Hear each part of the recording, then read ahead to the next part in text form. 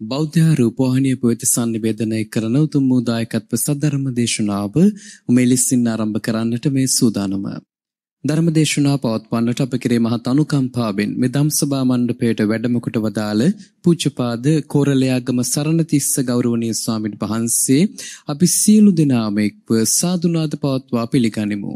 සාදු සාදු සාදු ඇමරිකාවේ පදිංචි ප්‍රසංග ගුණසේකර මහතා සහ බිමාලි කුමාරගේ මහත්මිය ඇතුළු පින්වත් පිරිසයි උතුම් වූ ධර්ම දේශනාව මෙලෙසින් මුළු ලෝකයටම sannivedanaya කරන්නට පින්බර දායකත්වයෙන් කටයුතු කරන්නේ. එසේනම් අප කෙරේ මහත් අනුකම්පාවෙන් මෙතෙන් සිට සදරම දේශනා පවත්වන්නට ගෞරවනීය ස්වාමින් වහන්සේට ආරාධනා කරනවා. අමන්තා චක්කවාලේසු අත්‍රාගච්ඡන්තු දේවතා සද්ධම්මං මුනි රාජස්ස සුනන්තු සග්ග මොක්කදං ධම්මස්සවන කාලු අයං බදන්තා ධම්මස්සවන කාලු අයං බදන්තා ධම්මස්සවන කාලු අයං බදන්තා. නමෝතස්ස භගවතු අරහතු සබ්බ දම්මේසු අපපටිහතඥානචාරස්ස දස බලධරස්ස චතුවේ සාරජ්‍ය විසාරදස්ස සබ්බ සත්තුතුතමස්ස ධම්මිස්ස රස්ස ධම්මරාජස්ස ධම්මස්සාමිස්ස තථාගතස්ස සබ්බඤුනෝ සම්මා සම්බුද්දස්ස නමෝතස්ස භගවතු අරහතු සබ්බ ධම්මේසු අපපටිහතඥානචාරස්ස දස බලධරස්ස චතුවේ සාරජ්‍ය විසාරදස්ස සබ්බ සත්තුතමස්ස ධම්මිස්ස රස්ස ධම්මරාජස්ස ධම්මස්සාමිස්ස තථාගතස්ස සබ්බඤුනෝ සම්මා සම්බුද්දස්ස. නමෝතස්ස භගවතු අරහතු සබ්බ ධම්මේසු. අපපටිහතඥානචාරස්ස දස බලධරස්ස චතුවේ සාරජ්‍ය විසාරදස්ස. සබ්බ සත්තුතමස්ස ධම්මිස්ස රස්ස ධම්මරාජස්ස ධම්මස්සාමිස්ස තථාගතස්ස සබ්බඤුනෝ සම්මා සම්බුද්දස්ස සද්ධර්ම ශ්‍රාවක ආරුණික ගුණගරුක බෞද්ධ පින්නතුනි බොහෝම ශ්‍රද්ධාවෙන් යුක්තව සියලු දෙනාම සූදානන් වෙන්නේ තිලෝගුරු ශාන්තිනායක සම්මා සම්බුදුරජාණන් වහන්සේ විසින් ලෝක සත්වයන් පිළිබඳව මහත් අනුකම්පාවෙන් දේශනා කොට වදාළ පරම ගම්බීර වූ ශ්‍රී සද්ධර්ම රත්නයෙන් ඊටාම පුංචි කොටසක් දේශනා කරවගෙන ධර්ම ගෞරවය පෙරදරි කරගෙන දේශනාගත ධර්මය ශ්‍රවණය කරන්නත් ධර්ම ශ්‍රවණය කිරීමෙන් ලැබෙන අවවාද අනුශාසනා තම තමන්ගේ ජීවිතවලට එකතු කරගෙන වඩාත් නිවැරදි මෙලව ජීවිතයක් සකස් කරගන්නත් ඒ තුලින් සුගතිගාමී වූ පරලොව ආයති භවයකින් සැනසෙන්නත් අවසානයේ ප්‍රාර්ථනා කරන බෝධීන් සැප සහිත ප්‍රතිපදාවෙන් ඊ타ම ඉක්මන් භවයක ඊ타මත්ම කෙටි කාලයකින් චතුරාර්ය සත්‍ය ධර්මය අවබෝධ කරගෙන සසරින් එතර වීමේ පරමාර්ථය ඇතුවයි. උතුම් ධර්ම දානානිසංසයත් ධර්ම ශ්‍රවණානිසංසයත් ඒ උතුම් බලාපොරොත්තු මුදුන්පත් කර ගැනීම සඳහා හේතු වාසනා වේවා කියලා ප්‍රාර්ථනා කරමු. පින්නතුනි අද ධර්මදේශනාවේ මාතෘකාව හැටියට මම යොදා ගන්න කල්පනා කළේ ධම්මපද පාළියේ දණ්ඩ කියන වර්ගයේ සඳහන් වන උතුම් ගාථා රත්නය.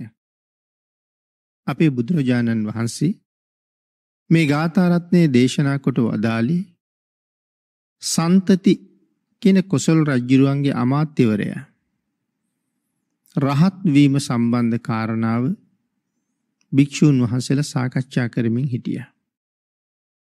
මොකද මේ අමාත්‍යවරයා රහත් වෙන්නේ සියලුම ආභරණ පැළඳගෙන ඉන්න වෙලාවේ. එතකොට භික්ෂූන් වහන්සේලා කතා කළා දැන් මොහුට බ්‍රාහ්මණ කියනවද ශ්‍රමණ කියනවද? ආන්ගේ සාකච්ඡාවට අනුව තමයි භාගිතුන් වහන්සේ මේ ගාථා රත්නය දේශනා කොට වදාළේ. අලංකතෝ චේපි සමංචරීය සන්තෝ දන්තෝ නියතෝ බ්‍රහ්මචාරී සබ්බේසු භූතේසු නිධාය දණ්ඩං සෝ බ්‍රාහ්මනෝ සෝ සමනෝස බික්කු කියන ගාථාරත්නය භාගිතුන් වහස දේශනා කළා. මේ ගාථාරත්නයේ සරල තේරුම පිළිබඳව සිහිපත් කළොත් සැරසුන නමුත් සමව හැසිරෙන්නේද ශාන්තද දමනය වනේද බඹසර හැසිරෙන්නේද සියලු සතුන් කෙරෙහි දණ්ඩනය බහා තබන ලද්දේද. එකැනෙ කාටවත් කරදර කරන්නේ නැතිද. අන්න එවන් පුද්ගලයා බ්‍රාහ්මණ නං ඔහුයි. ශ්‍රමණ නං ඔහුයි. බික්කු නම් ඔහුයි කියලා භාගිතුන් වහස දේශනා කරනවා. මේ ගාථාරත්නය දේශනා කිරීමේ මූලික කාරණාව අපි ටිකක් සාකච්ඡා කරමු සන්තති අමාත්‍යවරය සම්බන්ධයෙන්. ඒ වගේම පින්නතුනි මේ ගාථාරත්නයෙන් පැහැදිලි කරනවා මේ ධර්ම දානය කොයි තරම් උතුම්ද කියන කාරණාවත්. භාගිතුන් වහන්සේ සැවැත් නුවර වැඩ ඉන්න කාලේ කොසල් මහරජ්ජුරුව රාජ්‍ය කරන අවස්ථාවේ කොසල් රජ්ජුරුවන්ගේ රාජ්‍යයේ පසල් දනව්වක රජුට විරුද්ධව එක්තරා කැරැල්ලක් ඇති වුණා. ඒ කැරැල්ල ඇතිවෙච්ච බව දැනගත්තහම කොසල් රජ්ජුරුව මේ සන්තති කියන අමාත්‍යවරයට කතා කරලා මේ අමාත්‍යවරයට කියනවා ඒ කැරැල්ල සංසිඳවලා එන්න කියලා. ඉතින් සංසති අමාත්‍යවරයා තමන්ගේ පිරිසත් එක්ක ඒ පසල් දනව්වට පිටත් වෙලා ගියා. ඔහු ඊටාම සාර්ථකව ඒ කැරැල්ල මැඩ පැවැත්තුවා. ප්‍රදේශයේ සංසුන් කරලා ආපහු එනකොට රජ්ජුරුව කාරණාව දැනගෙන බොහෝම සතුටින් තමයි හිටියේ. ඉතින් සන්තති අමාත්‍යවරයා සම්බන්ධයෙන් රජ්ජුරුවන්ගේ හිතේ මොන තරම්නම් සතුටක් තිබුණද? ඒ වගේම පැහැදීමක් තිබුණද? විශ්වාසයක් තිබුණද කියන කාරණාව මනාව තහවුරු කරන සිදුවීමක් ඔහු ආපහු පැමිණියාට පස්සේ සිද්ධ වෙනවා. ඒ සිදුවීම තමයි මහරජ්ජුරුව දවස් හතකට තමන්ගේ රාජ්‍ය සන්තති අමාත්‍යවරයට භාර කරනවා. සාමාන්‍යින් කෙනෙක් නොකරන වැඩක්. ඇයි නොකරන වැඩක් කියල සඳහන් කළේ රාජ්‍ය භාරදුන්නට පස්සේ රටේ සියලූම රාජ්‍ය බලය හිමිවෙන්නේ ඔහුට. දැන් ඔහු තමා රජු. සියලුම මැති ඇමතිවරු සේනාව ඉන්න ඔහු යටතේ. යම්සේ ආග්ඥාවක් නිකුත් කලානං කොසොල් රජ්ජුරු මරන්ඩ කියලා රාජ ආග්ඥාව ක්‍රියාත්මක කරන්න වෙනවා. ඉති එහින්ද සාමාන්‍යෙන් රාජ්‍ය දෙන්නේ දෙන්නේ නෑ කාටවත්. නමුත් මෙතනදී අපිට පේනවා රජ්ජුරුවත් ඇමතිත් අතර මොනතරං සමීප සම්බන්ධතාවයක් විශ්වාසයක් ගොඩනැගිල තිබුණද කියලා. දවස් හතකට රජකම පවරලා දීලා විශේෂ නළඟනක් ලබල දෙනවා මේ දවස් හතේ සතුටුවීම සඳහා. ඇය නැටුමටත් බොහෝම දක්ෂයි. ගැයුමටත් බොහෝම දක්ෂයි. එඳ නැටුමෙන් ගැයුමෙන් රජුව පිනවණ්ඩෝනේ. ඉතින් බොහෝම සතුටින් මේ දවස් හත රාජශ්‍රීය බුක්තිවින්දා. හත්වෙනි දවසේ නාණ්ඩ යන්ඩ පිටත් වෙනකොට ඇතාගේ පිටේ යනවා අපේ බුදුරජාණන් වහන්සේත් මේ වෙලාවේ ඒ අසලින්ම පිණ්ඩ පාති වඩිනවා. තැන් වාසල් පෞරළඟ තමයි සන්තති ඇමති ඇතාගේ පිට උඩ ඉන්නේ. භාගිතුන් වහස වඩිනවා දැකලා ඇතාගේ පිට උඩ ඉඳලම් හිස නමල බුදුරජාණන් වහසට ආචාර කළා. භාගිතුන් වහසේ සන්තති ඇමති දිහා බලල වඩින ගමන් භාගිතුන් වහසේ මේ වෙලාවේ සිනහ පහල කළා. එතකොට ඇයි මේ සිනහ පහල කළේ භාගිතුන් වහසේ සිනහ පහල කළ බව අනික් භික්‍ෂූන් වහසලා දැනගන්නේ කොහොමද. විශේෂයෙන් සඳහන් කරනවා බුදුරජාණන් වහන්සේ සිනහාවක් සඳහා ශ්‍රීමුකහි විවෘත කරනකොට දන්ත ධාතුන් වහන්සේලා හතර නමක් විතර යන්තමට පේනවා කියලා. අං ඒ පේන දන්තයන්ගෙන් සඳරැස් වගේ ඉතාම සෞම්‍ය සුදුපාට රශ්මි ධාරාවන් විහිදෙනවා. දන්තයන් විවෘත වෙනවත් එක්කම. ඒ රශ්මි ධාරාව බුදුරජාණන් වහන්සේගේ ශීර්ෂ ධාතුව වටේට තුන් වතාවක් ප්‍රදක්ෂිනා කරනවා. ප්‍රදක්ෂිනා කරලා ඒ රශ්මී පිට වෙලා ඈතට ඇතට යනවා. මෙතමයි සුදු පාට බුදුරැස්. එතකොළට ශීර්ෂ ධාතුව වටේ ප්‍රදක්ෂිනා කරනවා දැක්කහම තමයි පිටිපස්සේ ඉන්න අය තීරණය කරන්නේ භාගිතුන් වහසේ සිනහවක් පහල කලා කියලා. ඒ නිසා අහනව ස්වාමීණී සිනහ පහල කළේ ඇයි කියලා. ඒ වෙලාවේ භාගිතුන් වහන්සේ සඳහන් කරනවා දන්නවද? ඔය ඇතාගේ පිට උඩ යන්නේ කවුද කියලා. ඔය යන්නේ සන්තති ඇමති. අද හැන්දෑවේ මම හොයාගෙන එනවා. අද හවස ඔය පුද්ගලයා රහත් වෙනවා කියලා. එතකොට කවුරුවත් හිතන කාරණාවක්ද? දැන් සන්තති ඇමති මේ දවස් ටිකේම ඉන්නේ හොඳටම සුරාවෙන් මත් වෙලා. එතකොට සාමාන්‍ය කිසි කෙනෙක් හිතන්නේ මොහු රහත් වෙන කෙනෙක් කියලා. භාගිතුන් වහන්සේ දැන් අද හවස මම මුණ ගැහෙන්න ඇවිල්ලා මොහුව රහත් වෙනවා කියන කාරණාව දේශනා කරනකොට සම්මාදිට්ඨික අයත් ඔතන හිටියා. මිත්‍යා දෘෂ්ටික අයත් ඔතන හිටියා. සම්මාදිට්ඨික අය නම් ගොඩක් සතුටු වුණා. හැබැයි මිත්‍යා දෘෂ්ටික අය සඳහන් කළා ශ්‍රමණ බවත් ගෞතමයන් වහන්සේ කියනවා අද සන්තති රහත් වෙනවා කියලා. මේ දවස් ටිකේම හොඳටම බීලයි ඉන්නේ. මෙහෙම බීලා ඉන්න පුද්ගලයා කොහොමද රහත් වෙන්නේ? හැබැයි ශ්‍රමණ බවත් ගෞතමයෝ කියලා කියන්නේ ඕන් ඔය වාගේ මුසාවාද කියන්න හරි දක්ෂ කෙනෙක්. අද අපි බලමු සන්තති රහත් වෙයිද නැද්ද කියලා. සන්තති රහත් නුනොත් අපි බවත් ගෞතමයන්ට හොඳටම චෝදනා කරමු. එහෙම කාරණාවකට ඒ කට්ටිය ලෑස්ති වුණා. සන්තති අමාත්‍යවරයා තමන්ගේ පිරිසත් එක්ක ගිහිල්ලා හොඳට පැන් ජලයේ ස්නානය කරලා ගොඩට ඇවිල්ලා උයනට ගිහිල්ලා විවේකීව හිටියා. දැන් රජුරු උයනට ඇවිල්ලා දැන් ආයි විවේකයෙන් ඉන්නේ. දැන් ආපහු අර නලංගනගේ රාජකාරිය තියෙනවා. ඒ තමයි නටන එක ගායන එක රජු සතුටු කරවන එක නැටුමෙන් ගැයුමෙන්. දැන් දවස් හතක් මේ තරුණ කාන්තාව ආහාර ගත්තේ ඉතාමත්ම අඩුවෙන්. මොකද ආහාර අරගෙන මේ නටන්න බෑ. ඒ නිසා ඉතාම අඩුවෙන් තමයි ආහාර ගන්න. ඉතින් දවස් හතක්ම සුළු ආහාරයක් ගත්තේ. එදත් ඇවිල්ලා නටනකොට අර ආහාර අහේනියයි දවස් හතක් මේ නැටුමට ගිහිල්ල තමන්ගේ කුස නිතරම ගැස්සුනා. ඒ කාරණාවලුයි මේ සියල්ල පදනම් කරගෙන ඇතිවුණා දැඩි බඩේ අමාරුවක්.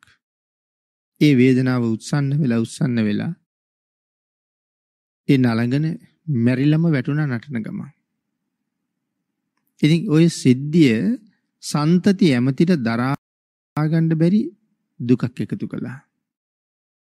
ඉතින් දුකෙන් පීඩාවට පත්වෙලා ඉන්න සන්තති ඇමතිවරයා කල්පනා කලා කාටද මගේ දුක නැති කරන්න පුළුවන් කියලා. ඔහුට වැටහුණේම බුදුරජාණන් වහන්සේ. නළගන ආදාහනය කරවලා ඕ කෙලින්ම ගී භාගිතුන් හසමුණ ගෙහෙන්ඩ. ගිල්ල භාගිතුන් වහන්සේට වන්දනා කරලා කරුණුකාරණා ඔක්කෝම මුල්ල ඉඳලම මතක් කළා. මතක් කලාට පස්සේ අපේ බුදුරජාණන් වහන්සේ සන්තති අමාත්‍යවරයට දේශනා කරනවා ඔබ ආපු එක බොහෝම හොඳයි. ඔබේ හිතේ යම් ශෝකයක් එළඹිලා තියෙනවනම් ඒ ශෝකය නැති කරන්න පුළුවන් සුදුසුම කෙනාලඟට තමයි ඔබ ආවේ.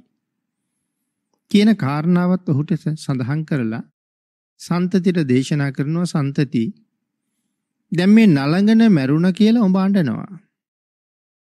ඔබ දන්නවද මැය වෙනුවෙන් ඔබ පෙර කොච්චර අඬලා තියෙනවද කියලා. මැය වෙනුවෙන්ම පෙර කොච්චර අඬලා තියෙනවද කියලා. ඔහුට කියනවා මැය වෙනුවෙන් පෙර ජීවිතවල අඬාපු කඳුළු එකතු කළා නම් අර සතර මහා සාගරයේ ජලයට වඩා වැඩියෙන් මේ නලඟන වෙනුවෙන් සංසාරේ උඹ අඬලා තියෙනවා. ඉතින් ඒ තරම් දීර්ඝයි සසර ඔය තරම් දීර්ඝ ගමනක අපි එනවා. නමුත් තාම නිමා කරන්න බලාපොරොත්තුවකුත් නැහැ. නිමා කරලත් නැහැ. තව ඉදිරියට ජීවත් වෙනවා කියලා කියන්නේ මැය වෙනුවෙන්ම අනාගතෙත් අනන්ඩ සිද්ධ වෙනවා කියන එකයි. තවත් නොයෙක් දුක්කන්දරාවන්ට අනාගතයේ මූුණ පාණ්ඩ සිද්ධ වෙනවා කියන එකයි. කේ කියා කරුණු දක්වලා සන්තති අමාත්‍යවරයට ධර්ම දේශනා කරහම සන්තති අමාත්‍යවරයා මේ හතර පද ගාථාවක් භාගිතුන් වහස දේශනා කරන වෙලාවෙම සව් කෙලෙස් නසල සිව් පිළිසිඹියා සහිතව අර්හත්වයට ප්‍රාප්ත වුණා. අර්හත්වයට ප්‍රාප්ත වෙලා ඊළඟට බැලුව මට තව ජීවත්වෙන්ට කොච්චර කල් ආයුෂ තියෙනවද කියලා. අදින් ඉවරයි.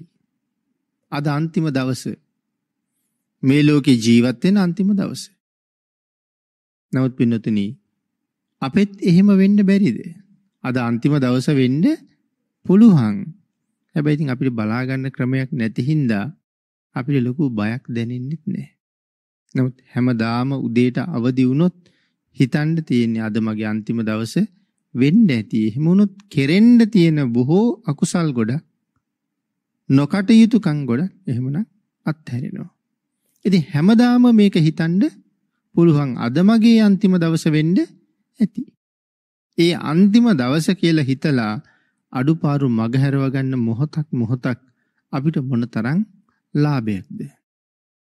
දැඟතොට සන්තති ඇමතිනම් අභිග්ඥාවෙන් බැලුව අද ආයුෂ ඉවර වෙන දවස. එනිසා කල්පනා කලා එහෙනම් බුදුරජාණන් වහන්සේට වන්දනා කරලා දැඟිතින් මම පිරිනිවනට සූදානන් වෙන්ඩෝනේ. භාගිතුන් වහස ළඟට ගිහිල්ලා කරුණු දැක්වුව හම අපේ භාගිතුන් වහසේ සඳහන් කළා අහසට පැන නැගල එම නැත්තං නිකම්ම පිරිනිවම් පාන්නේ නැතුව ප්‍රාතිහාරය දක්වලා චෝදනා කරපු මිත්‍යාදෘෂ්ටිකයන්ගේ කට වහලා පිරිනිවම් පාණ්ඩ කියලා. එතනම අහසට පැන නැගලා තල්ගහක් යම්තාක් උසද ඒ තරං ඉහලට ගියා. නැවත බිමට බැහල භාගිතුන් වහසට වන්දනා කළා. තල්ගස් දෙකක් වගේ ඉහලට නැගුණා. නැවත බැහැල භාගිතුන් වහසේට වන්දනා කරනවා. මේ විදිහට තල්ගස් හතක් වගේ උඩට යනකං උඩට උඩට ගමන් කරමින් බැහැල භාගිතුන් වහසට වඳිනවා. තමන් කවුරුනත් බුදුරජාණන් වහන්සේට වඩා හුඟක් පහලින් ඉන්න බව මේ රැස් වෙලා ඉන්න පිරිසට විශේෂයෙන් ඒත්තු ගන්නනවා. දැන් මිත්‍යා දෘෂ්ටික පිරිසත් ඉන්නවා. එහෙම කරලහක් වෙලා නැවත අහසට පැන නැගලා අහසේම පලක් බැඳගෙන භාග්‍යතුන් වහන්සේගේ ඉල්ලීමට අනුව පෙර කරපු පින විස්තර කරන්න පටන් ගත්තා. භාග්‍යතුන් වහන්සේ ඉල්ලීමක් කළා. පෙර කරපු කුසල කර්මයන් මතක් කරන්න කියලා. ඉතින් මේ පෙර කරපු කුසල් භාග්‍යතුන් වහන්සේ නොදන්නව නෙමෙයි. නමුත් අර රැස් වෙලා ඉන පිරිසට දැනගන්න ඕනේනේ. ඒ නිසා අහසේ පලක් බැඳගෙන කියනවා විශේෂයෙන් කරපු පින්කම මේ තරම් ඉක්මනට ධර්මය අවබෝධ කරගන්න. තමයි විපස්සී භාග්‍යතුන් වහන්සේගේ කාලේ. විපස්සී බුදුරජාණන් වහන්සේ අවුරුදු 84000ක් ආවිෂයි. ඒ නිසා අපේ භාග්‍යතුන් වහන්සේ වගේ දවසකට ධර්ම දේශනා කීපයක් කරන්නේ නැහැ. දවස් කීපයකට සැරයක් තමයි ධර්ම දේශනාවක් කරන්නේ. ඉතින් ඒ නිසා මේ බණ කියන දවස හැමෝම දන්නේ නැහැ. ඒ අයට බණ අහන්න එන්න කියලා මතක් කරන්න ඕනේ. දැන් මෙයත් තරුණ වයසට ඇවිල්ලා කල්පනා කළේ කාටවත් කරදරයක් නොවි පාඩුවේ ධනයත් හම්බ කරගෙන කුසලයක් රැස් වෙන වැඩපිළිවෙලකටත් යන්න ඕනේ. මොනවද කරන්නේ? කොහොමද ඒක කරන්නේ? කියලා කල්පනා කර කර හිටියා. එහෙම කල්පනා කර කර ඉඳලා ඔහු තීරණය කළා භාග්‍යතුන් වහන්සේ ධර්මය දේශනා කරන දවස මිනිස්සුන්ට දැනුවත් කරන එක බොහොම හොඳයි කියලා. දැන් ඊට පස්සේ භාග්‍යතුන් වහන්සේ ධර්ම දේශනා කරන දවස හෙට වගේ වෙනකොට මේ පුද්ගලයා මුළු ප්‍රදේශයේ පුරාම පයින් ඇවිද ඇවිද ඇවිද ඇවිද අහවල් දවස බණහන්න එන්න බණහන්න එන්න කිය කියා කතා කරනවා. ඉතින් මෙහෙම කාලයක් යනකොට බන්දුම කියන රජ්ජුරුවන්ට මේ පුද්ගලයා මුණ ගැහුණා. මුණ ගැහිලා රජ්ජුරුව මේ පුද්ගලයාගෙන් අහනවා මොනවද ඔබ කරන දේවල් මොනවද කරන වැඩ? මොහු කියනවා ස්වාමීනි මම අනුන්ට කරදරයක් නොවි ජීවත් වෙන්න වැඩපිළිවෙලක් හදාගත්තා. මොහු සාමාන්‍යයෙන් ගමේ ඉන්න පිරිස සිල් සමාදන් කරවනවා. උනන්දු කරවනවා ඒ සඳහා. එහෙම වැඩත් මේ පුද්ගලයා ළඟ තියෙනවා. ඉතින් මේ කරුණු කියනවා ස්වාමීනි මම එදා විපස්සී භාග්‍යතුන් වහන්සේගේ කාලේ භාග්‍යතුන් වහන්සේ ධර්ම දේශනා කරන දවස මිනිස්සුන්ට දැනුවත් කළා. ඒකෙන් සතුටටපත් වුණා බන්දුම රජුරු. බන්දුම රජුරු මගෙන් කරුණු අහලා මට දුන්නා අස්සේ සහ විශේෂ මල් මාලය. ඒ මල් මාලේ පැලඳගෙන මේ අශ්වයාගේ පිටේ ගිහිල්ලා විශේෂයෙන් බණ අහන අය දැනුවත් කරන්න කියලා. එතකොට අර පයින් ගිහිල්ලා දැනුවත් කරනවට වඩා වැඩි පිරිසක් දැනුවත් කරන්න පුළුවන්නේ. කොහොම කටයුතු කරගෙන යනකොට රජුරවන්ට ආයෙත් මේ පුද්ගලයා මුණ ගැහිලා කාරණාව අහපුවාම සඳහන් කළා ස්වාමීනි බණ අහන දවස මිනිස්සුන්ට මතක් කරනවා. අන්න එදා රජුරු සඳහන් කළා ඕක බොහොම උසස් වැඩක්. ඔහොම සාමාන්‍ය විදිහට කරන්න එපා. සුදු පාට අස්සයෝ බැඳපු අස්සයෝ හතර දිනෙක් බැඳපු රථයක් දුන්න මෙන්න මේ රතෙන් ගිහිල්ලා මීට පස්සේ ඔය ප්‍රචාරක කටයුතු කරන්න කියලා. දැන් බොහෝම පහසුවෙන් රතේ යනවා. රතේ ගොඩ වෙලා යනවා. තවත් ටික කාලෙකින් රජ්ජුරුවන්ට ආයෙත් මොහු හම්බ වෙනවා. හම්බුනහම අහනවා දැන් කොහොමද මොනවද කරන්නේ? මොහු කියන ස්වාමීනි තාමත් ධර්ම දානයට දැනුවත් කරනවා. රජ්ජුරුව සඳහන් කළා බොහොම ශ්‍රේෂ්ඨයි. ඒකට ගැළපෙන වාහනයක් දෙන්න ඕනේ. කියලා විශේෂ ඇතෙක් සන්තති ඇමති මේ පුද්ගලයාට බාර කළා මේ ඇතාගේ පිටේ ගිහිල්ලා මීට පස්සේ බණ කියන දවස දැනුවත් කරන්න කියලා. තවත් නොයෙක් බෞභෝග සම්පතුත් හරියට දුන්නා. මොහු විසින් මිනිස්සු හතර පොයට සිල් සමාදන් කරවනවා, මිනිස්සු ලව්වා දන් දෙව්වනවා, මිනිස්සු ලව්වා භාවනා කරවනවා. ඒ දේවලුත් සාමාන්‍ය ජීවිතයේදී කරනවා. ඒතර මෙහෙම කටයුතු කරගෙන ගිහිල්ලා බණ කියන දවස අහවල් දවසයි බණ අහන්න එන්නේ කියලා දැනුවත් කරලා තමයි මේ කුසලයේ ලැබුවේ. එතකොට ධර්ම දානය ගැන කතා කරනකොට මේ ලෝකේ මේ අති උත්තරීතරයි උදාරයි කියන ධර්ම දානමය මහා කුසල කර්මය ආකාර 6කින් කරන්න පුළුවන්. ඒ කියන්නේ ධර්ම දාන හයක් තියෙනවා ලෝකේ. පළවෙනි එක තමයි ධර්මය දේශනා කරන එක. පළවෙනි ධර්ම දානය. දෙවනි ධර්ම දානය තමයි අටුවාව උගන්වන එක. ධර්ම දානය. තුන්වෙනි ධර්ම දානය තමයි ත්‍රිපිටක පාලිය දන්නේ නැති කෙනෙකුට කියලා දෙනවා. ත්‍රිපිටක පාලිය උගන්වනවා. ඒක තුන්වෙනි එක. හතරවෙනි එක තමයි කෙනෙක් අහන ප්‍රශ්නයකට ධර්මය තුලින්ම උත්තර දෙන එක. හතරවෙනි ධර්ම දානයේ ධර්මානුකූල පිළිතුරු දෙන නිසා. පස්වෙනි ධර්ම දානය තමයි භාවනා ආදිය කරන්න කර්මස්ථාන ඉල්ලගෙන එන අයට කර්මස්ථාන කියලා දෙනවා කර්මස්ථාන පිරිසිදු කරගන්න හැටි කියලා දෙනවා මේ ආදී දේවල් කරනවා. ඒකත් ධර්ම දානයක්. හයවෙනි ධර්ම දානය තමයි මේ හැමෝටම කරන්න පුළුවන් ධර්ම දානය. හයවෙනි එක මුල් පහම කරන්න පුළුවන් මහා ධර්ම දරයෙකුට විතරයි. එතකොට හයවෙනි එක කියලා කියන්නේ භික්ෂූන් වහන්සේ නමකට ආරාධනා කරලා ධර්ම දේශනා කරන්න පහසුකම් හදලා කායික මානසික සුවය ඇති කරවලා ඒ විතරක් නෙමෙයි ධර්ම දේශනාවක් සිද්ධ කරනවා අහවල් තැන කියලා අපි සාමාන්‍යයෙන් ওই ප්‍රචාරක මාධ්‍යත් කරනවා.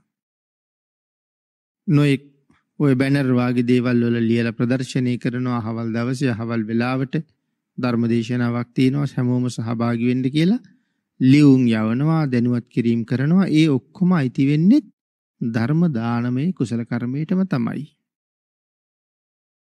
ඉතින් මේ විදිහට මේ නොයෙක් දේවල් කරලා විශාල පිරිසක් එක තැනකට රැස් කරවලා ඒ අයට රැස් වෙච්ච තැනත් බණ අහන්න පහසුකම් හදලා දීලා සමහරලාට තේ වතුර තවත් නොයෙක් බීම වර්ග දේශනා විවරුණහම ආහාර පාන මේ සියලු දේවල් රැස් කරලා දන් දෙනවා. ඒ ඔක්කොම අයිති වෙන්නේ මොකේටද? ධර්ම දානමය කුසල කර්මයට. එතකොට සාමාන්‍ය කෙනෙකුට කරන්න පුළුවන් පින්කම ඒක තමයි. දේශකයන් වහන්සේ නමක් හැඳවලා පිරිස දැනුවත් කරලා පිනිස රැස් කරවලා රැස් වෙච්ච පිරිසට පහසුවෙන් බණ අහන්න ඉඩකඩ සකසලා ධර්ම දේශනාව පවත්වන එක හයවෙනි ධර්ම දානයයි. මේ සියල්ලම නිමක් නැති මහා ආනිසංස ලැබෙන පින්කම්. සියලුම දානයන් අභිභවනය කළ උදාරතර වූ දානයේ ධර්ම දානයයි කියලා දේශනා කළේ. ඉතින් එවන් වූ ධර්ම දානයක් තමයි මේ පින්නතුන් විසින් මේ වෙලාවේ මේ දැනුත් සම්පූර්ණ කරගන්න සූදානම් වෙන්නේ. සන්තති අමාත්‍යවරයා දැන් රහතන් වහන්සේනේ අහසේ ඉඳලම දැනුවත් කරනවා. මම මෙන්න මෙහෙම කාර්යයක යෙදිලා හිටිය විපස්සී භාග්‍යතුන් වහන්සේගේ කාලේ. බණ අහන අයට බණ අහන දවස අහවල් දවසයි බණ කියන වෙලාව මෙන්න මේකයි වෙලාව. ඒ වෙලාවට ඒ දවසට බණ අහන්න රැස් වෙන්න කියලා මම දැනුවත් කළා. අන්න ඒ පින තමයි මේ සියලු ආභරණ දරාගෙන රහත් වෙන්න තරම් මට හේතු වෙන විශේෂ කුසල කර්මය කියලා පැහැදිලි කළා. පැහැදිලි කරමින් ධර්ම දානයගේ මහානුභාව සම්පන්න බවයි මේ පැහැදිලි කරලා තියෙන්නේ. ඉතින් ඒ කාරණා ටිකක් දේශනා කරලා ඉවර වෙලා අහසෙදිම තේජෝ කසිනේට සමවැදිලා ශරීරයේ ආදාහනි වුණා. සමම්පිච්ච මල් කැකුළු ගොඩක් වගේ ධාතුන් වහන්සේලා ඉතුරු වෙලා තියෙනවා. අහසෙම යාදාහනි වෙන්නේ. අපේ භාග්‍යතුන් වහන්සේ ඊට පස්සේ සුදු පාට රෙදි කඩක් ගෙන්නගෙන බිමින් එළුවා. අර අහසේ තිබුණ ධාතුන් වහන්සේලා සියල්ලම මේ රෙදි කඩ උඩට පතිත වුණා. ඒ ධාතුන් වහන්සේලා මිනිස්සු වන්දනා කරගත්තට පස්සේ පාත්‍රයක තැම්පත් කරලා භාග්‍යතුන් වහන්සේ ලබා දෙනවා මෙන්න මේ ධාතුන් වහන්සේලා චෛත්‍යයක් හදලා තැම්පත් කරලා වන්දනාමාන කරගන්න බොහෝම සුදුසුයි කියලා. එතකොට ධර්ම දානයක් කොයිතරම් ශ්‍රේෂ්ඨද ධර්ම දානය මොනතරම් උත්තරීතරද මෙලවත් බොහෝ සැප ගෙනල්ලා දෙනවා පරලොව සුගතිගාමී කරනවා අවසානයේ උතුම් නිවනටම පාර සකස් කරන උදාරතර වූ පින්කමක් තමයි ධර්ම දානමය පින්කම කියලා කියන්නේ. එහෙමනම් සන්තති අමාත්‍යවරයා වෙනුවෙන් භාග්‍යතුන් වහන්සේ දේශනා කරපු මේ පළවෙනි ගාථාව අපි ටිකක් ධර්මාර්ථ සහිතව සාකච්ඡා කරමු. අලං කතෝචේපි සමං චරෙය්‍ය සන්තෝ දන්තෝ නියතෝ බ්‍රහ්මචාරී. එතකොට මේ අලංකතෝ චේපි සමංචරීය. අලංකතෝ කියලා කියන්නේ අලංකාරය. අලංකරණය සමංචරීය. සමංචරීය කියලා කියන්නේ සමව හැසිරෙනවා. මොනවද මේ සමව හැසිරෙනවා කියලා කියන්නේ? විශේෂයෙන් පැහැදිලි කරනවා කයයි වචනයයි සිතයි යන ద్వාරත්‍රයෙන් කෙරෙන පව්කම් හැර කාය සුචරිතාදීහි යෙදිලා ඉරියව් පැවැත්වීම සමවරණයයි. සිතකය වචනය කියන තුන්දොරින් කෙරෙන අකුසල් අත්හැරලා අකුසල් වලින් මිදිලා මේ සිතකය වචනය කියන තුන්දර මුල් කරගෙන කරනව නම් යහපත් දෙයක්. ඒ යහපත් කටයුතු වල යෙදිලා යමෙක් කටයුතු කරනවා නම් සුචරිතවත් බව කියන කාරණාව තමයි මෙතන මේ සමංචරෙය සමව හැසිරෙනවද? මනා වූ චරිත ගුණයකින් පොහොසත්ද? ඊළඟට සඳහන් කරනවා යමක් අරමුණෙහි යමෙක් ඇලේ නම් යමෙක් අරමුණෙහි ගැටේ නම් අරමුණෙහි මුලා වේ නම් ඔහු සාන්ත නොවේ කියලා. අරමුණෙහි ඇලෙනවා නම් අරමුණෙහි ගැටෙනවා නම් ඔහු ශාන්ත වූ පුද්ගලයෙක් නෙමෙයි එතර මොනවද අරමුණු කියලා මෙතන සඳහන් කරන්නේ.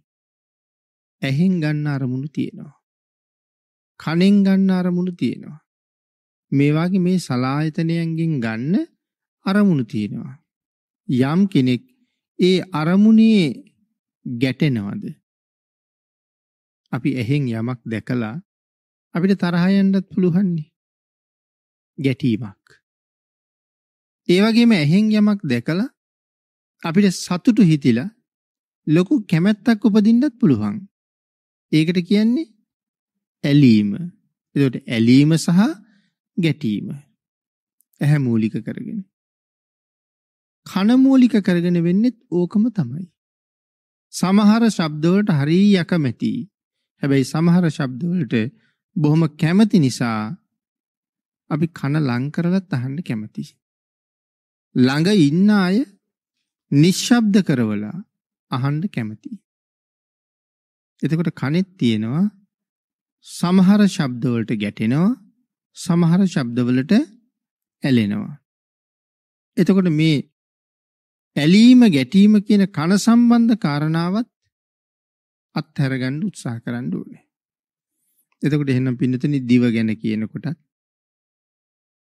නාසය ගැන කියනකොටත් මේ අනික් ඉන්ද්‍රියන් ගැන කියනකොටත් ওই කාරණා ඔහොමම තමයි. මේ හැම ඉන්ද්‍රියකින්ම අපි එක්ක ඇලෙනවා නැත්තම් ගැටෙනවා.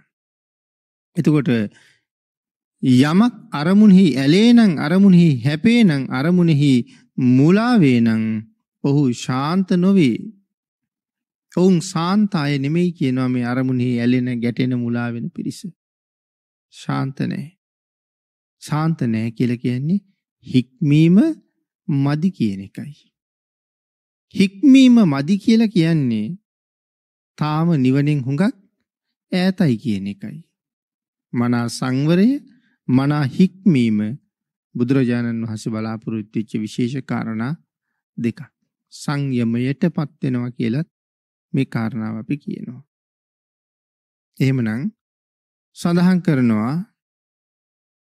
යම් කෙනෙක් භාගිතුන් වහස දේශනා කරපු විදිහටම ජීවිතයේ ගොඩනගන්න උත්සාහ කරන්නේ නැත්තම් ඔහු තාම භාග්‍යතුන් වහන්සේට හරියටම හරියටම කීකරුත් කීකරුත් මදි කියන කාරණාව සිහිපත් කරමින් මෙතන සඳහන් කරනවා මේ අරමුණෙහි ඇලෙන ගැටෙන ස්වභාවයෙන් තොරයි නම් ආන් ඒකට කියනවා සන්තෝ කියලා. ශාන්තයි කියලා. ඊළඟට තියෙනවා පින්නදී දන්තෝ දැමුණේද එතන දැමුණේද කියලා කියන්නේ දන්ත භූමී නම් රහත් ඵලය. එතකොට රහතන් වහන්සේගෙන් තව නමක් දන්ත භූමි. රහත් ඵලය.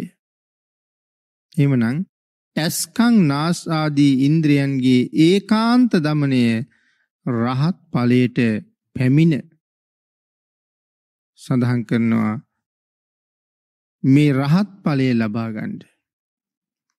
යම් කෙනෙක් ඉන්ද්‍රියන් দমনය කරනවා නම් ඒක අත්‍යවශ්‍ය අංගයක්. මේ ඉන්ද්‍රියන්ගෙන් අරමුණු අරගෙන ඇලෙමින් සහ ගැටෙමින් විමුක්තිය කරා ගමන් කරන්න බෑ. රහත් බව කියලා කියන්නේ තණ්හාව ෂය කිරීම. එහෙමනම් ඇහෙන් අපි කොච්චර තණ්හාවට යට වෙනවද ඇහැ නිසා? කන නිසා කොච්චර තෘෂ්ණාවෙන් බරිත වෙනවද?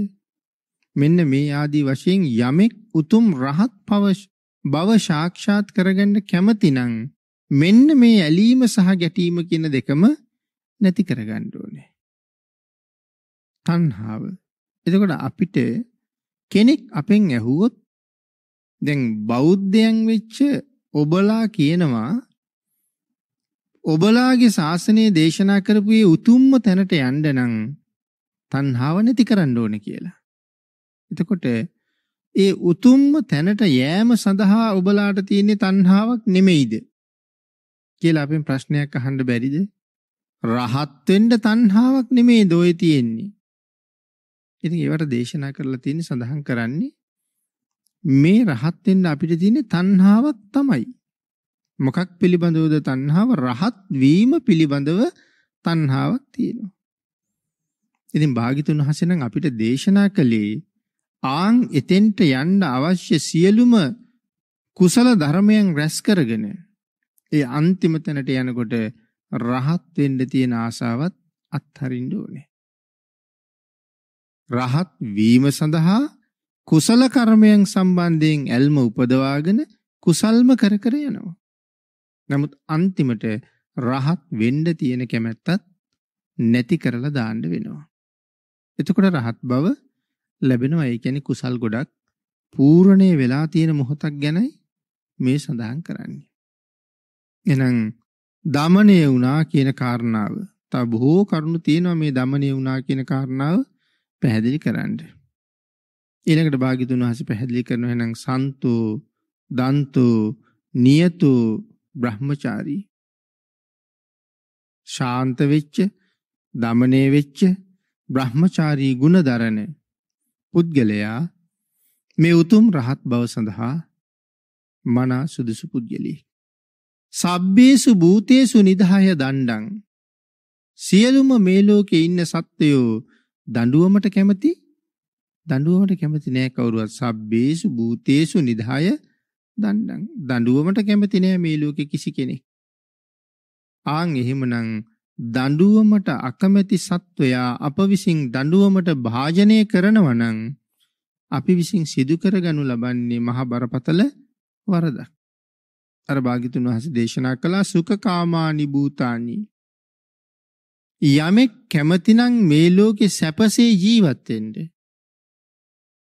ඔවුන් මොනවද කරන්න ඕනේ? සැප කැමති සත්වයන්ගේ සැපය විනාශ නොකරන්න ඕනේ. යමෙක් සැපයට කැමති නම් සැප කැමති සත්වයන්ගේ සැපය විනාශ නොකරන්න ඕනේ. එතකොට මේ කාරණාව විනතිනේ බොහෝම විස්තර සහිතව කතා කළ හැකි. දැන් අපි හිතන්නකෝ මදුරුවෙක් ඇවදිල්ලා අපේ කනගාව කෑ ගහනවා. ඕක සාමාන්‍ය හුඟක් දිනට තරහ යනම සිද්ධියක් නේ. එතකොට මේ මදුරුවා බාහිරින් ඇවිල්ලා මගේ හිත දූෂණය කළා. විනාශ කළා. පළුදු කළා.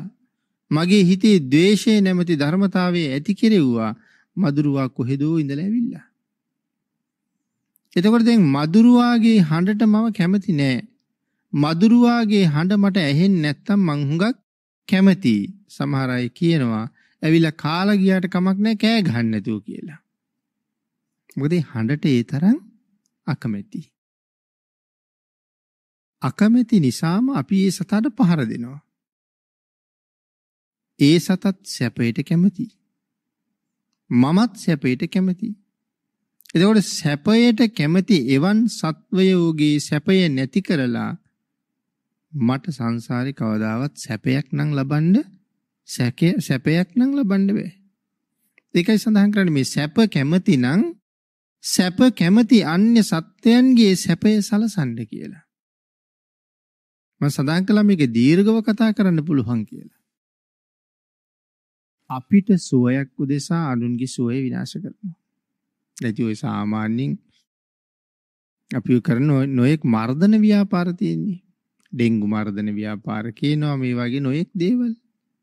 ඉතින් ඇයි මේ ඩෙංගු හැදිලා අපේ සැපේ නැති වෙලා අපිව මරණයට පත්වෙයි කියන බය නිසා අපි ඩෙංගු මදුරුවාව මරනවා. අපේ සැපේ උදෙසා අනුන්ගේ සැපය විනාශ කරනවා. ඉතින් අපේ සතුට උදෙසා තව එහෙම කරන දේවල් නැද්ද පව් නෙමෙයි කියලා හිතලා. මේ බලන්නකෝ පිනතින් මාළු හදනවා. සුරතල් සත්තු හදනවා. ඒගොල්ලන්ගේ සැපේ විනාශ කරලා නැද්ද? ඒ කුරුල්ලෝ ඇති කරනවා. ටිකක් හොඳට බලාගෙන ඉන්නකෝ මේ කූඩුවේ වහලා කම්බි කම්බි ගානේ එල්ලි එල්ලි උදේ ඉඳලා රෑ වෙනකන් අර කම්බි හප හප මොකද මේ කරන්නේ කියලා. මේක කඩලා කොහොම හරි එළියට යන්න ඔහුගේ සැපය ඒකයි. අපි ඊටාම සුවදායක ගෙයක් ඇතුලේ තියලා රාජ භෝජනාදීන් සංග්‍රහ කරලා අනික් අවශ්‍ය සැප සම්පත් ඔක්කොමත් ලබලා දීලා කෙනෙක් අපිට පහසුකම් සියල්ලම සපේලා කාමරයක දාලා වහලා හිටියොත් අපි කැමතිද? එළියේ ගිහිල්ලා යාචකයෙක් වගේ හැසිරෙන්න තිබුණත් මට සැපයි කියලා ඒ වෙලාවට හිතෙන්නේ. එහෙනම් මේ සුනකයෝ වගේ සත්තු, කුරුල්ලෝ වගේ සත්තු අපේ සෙනෙහස වෙන කොහෙවත් යයි අල්ලපු ගෙදරට යයි පාර දිගේ දුවයි කූඩුවක දාලා වහනවා.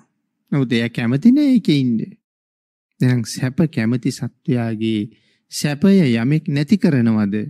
අනාගතයේ වුන්ටත් මේ සැපය කියන ධර්මතාවය හම්බ වෙන්නේ නැතුව යනවා. සැප කැමති නම් සැප කැමති උන් සැපයටපත් කරන්න. ඒ කාරණාවයි ඒ ගාථාවේ සඳහන් කරන්නේ ඔවුන් සැප ලබන ක්‍රමයත් සැප නොලබන ක්‍රමයත් දෙකම ගාථා රතනයන් දෙකකින් පැහැදිලි කරලා තියෙනවා. එහෙමනම් පින්නතුනි සියලු සත්වයන්ට දඬුවම් නොකර ඉන්න ඕනේ කරදර නොකර ඉන්න ඕනේ සෝ බ්‍රාහ්මනෝ සෝ සමනෝස බික්කු ආන් එහෙම කරන කෙනා මේ භාගිතුන් වහන්සේ දේශනා කරපු උතුම් අරහත්ත්වේ කරා කෙමෙන් කෙමෙන් ළඟා වෙන කෙනෙක්.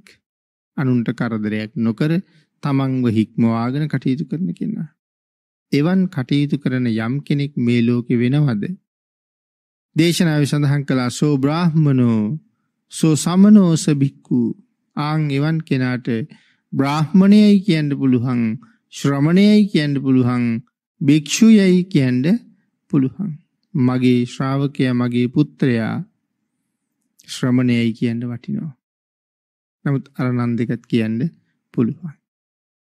එමනම් භාග්‍යතුන් වහන්සේ දේශනා කරපු මේ ධර්ම කාරණාව ධර්ම දානයාගේ ආනිසංසය කොපමණද කියන කාරණාවත් අපි යම් ප්‍රමාණයක් සාකච්ඡා කරගත්තා. යමෙක් උතුම් රහත් බව හොයා ගන්නවා නම් මුලින්ම සිත කය වචනය කියන තුන්දොර දමනය කරගත යුතුයම බවත් අපි මේ වෙලාවේ බොහොම කෙටියෙන් සිහිපත් කළා එවන් උතුම් තැනකට යන්න නම් සසර පුරාගත් පාරමී අත්‍යවශ්‍යයි මනාව ගුණධර්ම සම්පූර්ණ කරලා අපිට අපේ ආධ්‍යාත්මික ජීවිතයේ සුවපත් කරගන්න අවස්ථාව උදා කරගන්න බුද්ධාන්තරයක ලැබිච්ච ශ්‍රේෂ්ඨ ජීවිතයකින් ඵල නෙලා ගන්න බැරි නම් අපිට තවත් මෙවන් කාලයක් ලැබෙයිද කියන එක සැක සහිතයි. පෙර භවයේ බොහොම දුක්ඛිත භවයක්. ඊට කලින් භවයේ ඊට වඩා දුක් සහිත වෙන්න වෙන්න පුළුවන්. පෙර භවයේ සැප විඳපු අයත් ඇති. දුක් විඳපු අයත් ඉන්නවා. නමුත් සැපද වින්දේ දුකද වින්දේ කියන කාරණාව තේරෙන්නේ නැහැ භවයෙන් වෙහිලා තියෙන නිසා.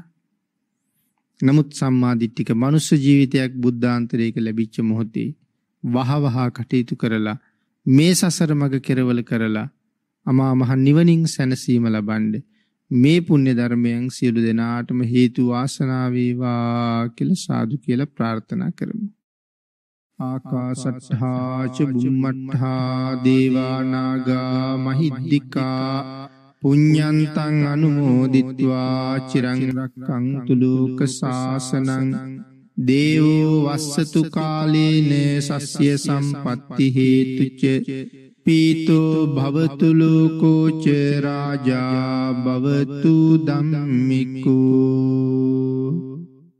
පින්නතුනි අද මේ උතුම් ධර්ම දේශනාවේ දායකත්වය දරුණු ලබන්නේ ඇමරිකාවේ පදිංචි ප්‍රසංග ගුණසේකර මහත්මා සහ බිමාලී කුමාරගේ මහත්මිය විසින්. ඒ දෙපළගේ උතුම් අරමුණු කීපයක් සහිපත් කරනවා මීට දින දහනමයකට පෙර අභාව ප්‍රාප්ත වූ දිලීප් කරුණාධාර මහත්මාට පින් අනුමෝදන් කිරීම දෙපාර්ශයම මියගිය සියලූම ඥාතිවර්ගයාට පින් අනුමෝදන් කිරීම. ඊට අමතරව සෙත් ප්‍රාර්ථනා කරනවා. සුජීවත්ව සිටින පානදුරේ පදිංචි දෙමව්පියන් වන වින්සන්ට් ගුණසේකර සහ සෝමා ගුණසේකර යන අයටත් බෙනට් කුමාරගේ සහ දයා කුමාරගේ යන දෙමව්පියන්ටත් නිදුක් නිරෝගී සුවය සහ චිරජීවනය ප්‍රාර්ථනා කරන අතර ප්‍රසංග ගුණසේකර සහ බිමාලී කුමාරගේ යන අයට අධ්‍යාපනය ලබා දුන් සියලුම ගුරු භවතුන්ට නිරෝගී සුවය ප්‍රාර්ථනා කරන අතර විනුදි ගුණසේකර දියණියගේ අධ්‍යාපන කටයුතු සාර්ථකව කර ගැනීමටත් නිදුක් නිරෝගී සුවපත් භාවයේ ලැබීමටත් මේ පුණ්‍ය ධර්මයන් හේතු වාසනා වේවා රත්නත්‍රී ආශිර්වාදේ ලැබේවා. වජිරා ගුණසේකර සහ දේවිකා ගුණසේකර යන සහෝදරියන් දෙදෙනාටත් ඔවුන්ගේ දූ දරුවන්ටත් නිදුක් නිරෝගී චිරජීවනය ලැබේවා. ගෞරවනීය දේශකයාණන් වහන්සේට නිදුක් නිරෝගී භාවයේ චිරජීවනයේ සැලසේවා. සිරිනාවති කරුණාධාර මහත්මිය ගාමිණී කරුණාධාර මහත්මා ඇතුළු කරුණාධාර පවුලේ සියලු දෙනාට නිදුක් නිරෝගී භාවයේ සැදේවා.